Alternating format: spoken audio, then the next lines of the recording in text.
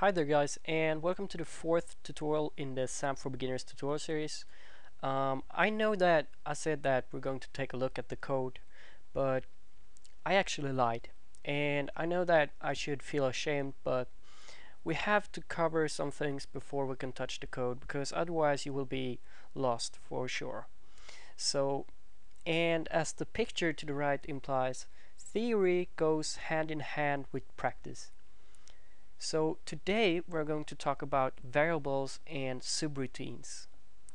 Now don't be scared about names because I'm going to explain everything. So now the first thing, variables. Well, what is a variable? Well, if I quote Wikipedia, it is in computer programming, a variable or a scalar is a storage location and an asso associated symbolic name or an identifier which contains some known or unknown quantity or information, a value. Okay, so that probably didn't make any sense for you. So I'm going to try to explain it in another way. Basically, a variable is something that contains a value. Now this symbolic name, as Wikipedia wants to say, uh, is actually just a name. Now if we create a variable, then you're going to give it a name and a value. And if you want to use this val value anytime, then you can just use the name. So that's the basic uh, description of a variable. You have a name, you have a value. To use the value, you use the name. Simple. Now, there are some issues though. You have to decide what data type you're going to use. Now, these are a few of the data types available. Now the data type is the type of the variable because the programming language wants to know what kind of variable it is. And data types is what kind of variable uh, what kind a variable is. So the first one is a boolean. Now a boolean can either be true or false. So if we for instance take my tutorial as an example my tutorial, if I ask you a question, is the tutorial good? Then you can, of course, you could ask uh, or say, well, it's kind of good, but let's pretend that you could only say if it's true or not true. That could be a boolean. So the boolean could be, is the tutorial good? True or false? We then have integers, and an integer is just a whole number. So an example would be 24. We then have floats, and basically what float is, is not a whole number, but a float. That's the easy, uh, the easiest thing there is actually. It's not um, a whole number, uh, but a float. That's all I can say. As you can see here, my example is 74.234. So if I'm going to give some other examples, then an integer could be 14 and a float could be 12.6. Okay, and then we have a string, and a string is basically a text, and usually you surround a text or a string with um, speech marks. And then we have something called array. Now this is kind of complicated, so we have to learn some things from Wikipedia first. So going on to the next one, array. In computer science, an array type is a data, data type that is meant to describe a collection of elements, values or variables, each selected by one or more indices, which is identifying keys, that can be computed at runtime by the program. Okay, so I'm going to explain this now.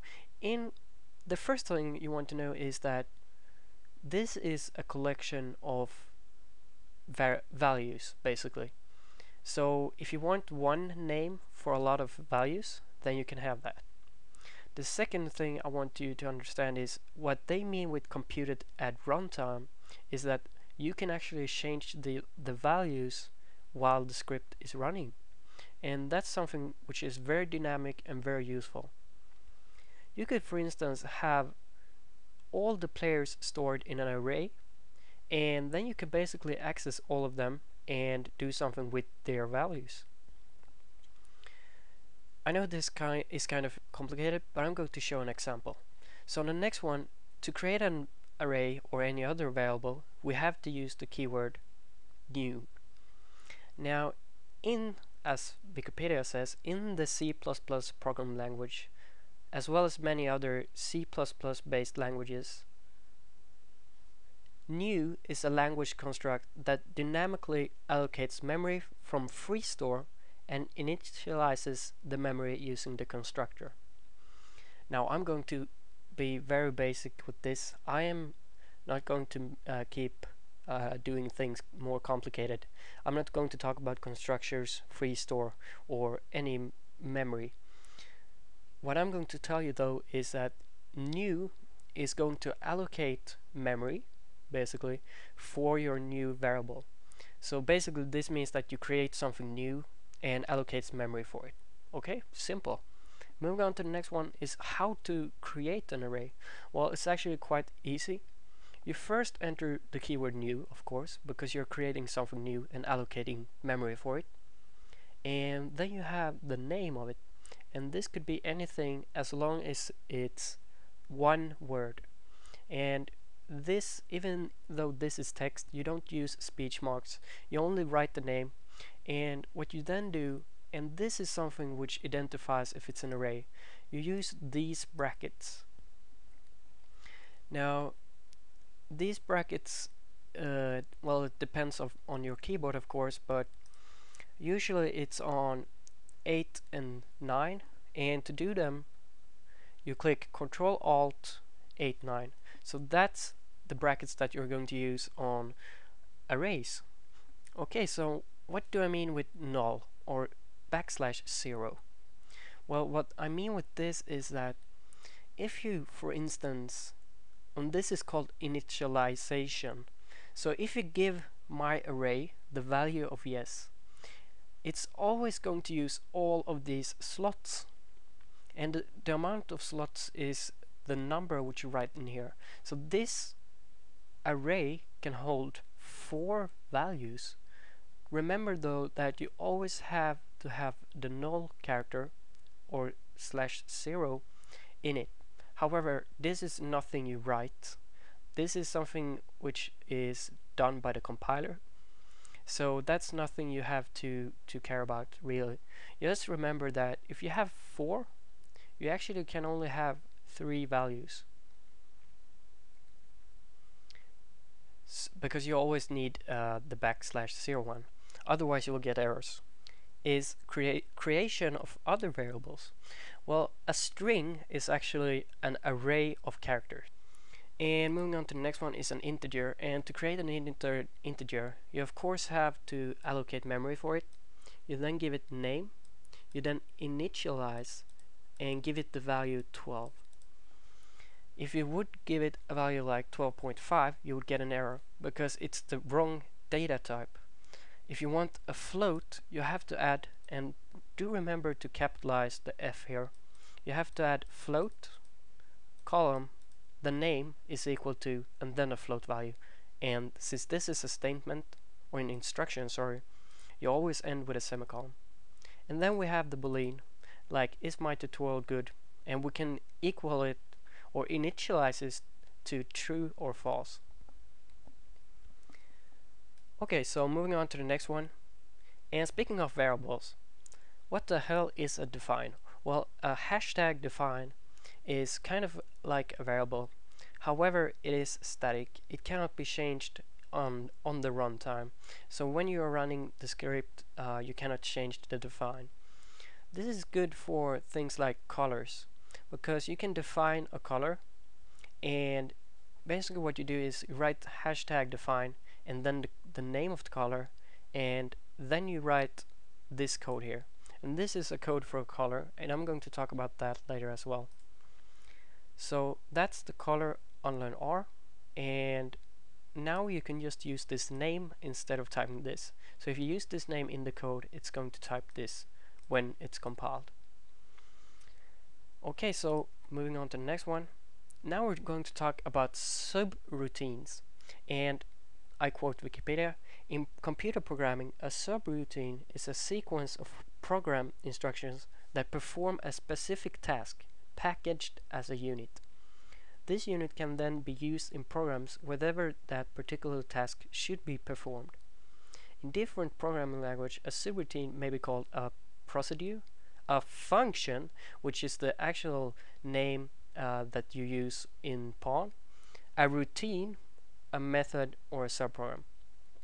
I know, for instance, that you you are used to you, you usually say method in Java and in PH, PHP you think I think you say function and and so on but basically they all mean the same shit. So but in SAMP we usually use function.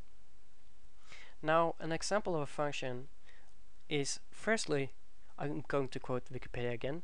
In computing the native adjective refers to software or data formats supported by a certain system with minimal compute computational overhead and additional components so what this basically means is that a native function is a function that exists from the beginning. I'm not going to make it more complicated than that. And one native function which exists from the beginning is send client message. Now, all subroutines has some parameters, parameters, uh, and some do not, uh, actually. But as you can see here, you first write the keyword and the keyword is going to describe what kind of uh, function it is and then you write the name of the function and in this case it's send client message.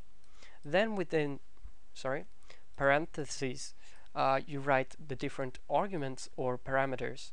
Now what this means is that when someone uses this command or function sorry uh, they have to specify a player ID a color as well as a message. And as you can see here it's an array because a message is always an array. It's an array of characters. Okay so now we're going to construct our own function. And to do so we firstly give it a name. And as you might have noticed I do not have any keyword. Shouldn't this give me an error? Well I'm going to talk about that in the next section section of the tutorial. So I want a player ID and this one here is to do that one that's a curly bracket. You do control alt and 7 and 0 on your keyboard and they should pop up. And each function starts with one which is pointing towards the function and ends with one which is pointing outwards. We then have send client message and this is how you usually call a function so we're calling this function up here and we're giving it the player ID, the color, and a text. Now about the color, 0x is the initialization code which you has to have or um, well you have to have this if you want to use the hex colors and hex I'm not going to explain hex today but I might do it in another tutorial. But basically what this is two values of red. It the lowest one is 0 0 and the highest one is ff we then have two values for green two for for blue and two for alpha. Now alpha is the transparency. So if you want it to be completely transparent you can just write 0 0 but we want it to be visible for now. This should give me uh, a white color so that's basically it for that section of the tutorial we're going to move on now, what type of functions are there? Well, remember that I didn't have a keyword on my previous version function, sorry, and that is called a plain function. It's plain and simple. Now, that function is usually the one you want to use. However, there are some exceptions. Public ones, for instance, are used with timers. I'm, I haven't talked about timers yet, but I'm going to do in the uh, in the future. However, just keep in mind that public is for timers or includes. And the includes one uh, are basically, I'm going to talk about that in the next one. So that's what you use for public for, for timers and includes. And plain is the usual one. You use the plain one if you don't have to use the stock or public one. And basically the stock one hides error at compilation. And I'm going to talk about more more about that later on. And do remember that if you create a public function you have to forward it. And all you have to do is to write forward then the function name and all the parameters or uh, arguments. And then of course since this also is an instruction you end it with a semicolon and includes you say well yes includes is uh, basically a code uh, from an other file which is included into your file. So you can for instance do a underscore sam dot include, and this is going to include all the basic uh, native functions which are, you can use. Or you could just include your own script. So if you have a script and you want to divide your scripts into several sections then you can just include them like this like balls.pwn uh, I haven't talked about PWN but I'm going to do that in the next tutorial. And that's it. And I just want to say that you are awesome for viewing this tutorial and you are awesome for learning this much and taking all this uh, into consideration. I truly hope that you have learned something from this and I actually suggest that you watch this one more time if you didn't uh, understand something or you can just skip to one of the sections of the uh, tutorial. But this should uh, make you ready to actually touch the code. And in the next section I promise you that we will touch some code. So thank you so much for watching and have a really nice day